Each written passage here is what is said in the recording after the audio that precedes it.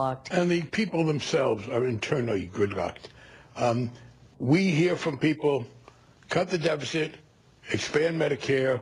We get a very inconsistent set of, of messages from them. So no, I don't feel guilty at all, and I don't feel badly. I mean, I think I, I find there's a great commitment to solving the problem, but when it gets to the specifics, I was in City Hall in Boston 44 years ago complaining about people who wanted a swimming pool in a neighborhood and then complained because the dump trucks were coming in and out, digging out the swimming pool, and it was bothering them. And I complained to an old city councilor, Freddie Langone. He said, hey, kid, ain't you heard the news? Everybody wants to go to heaven, but nobody wants to die.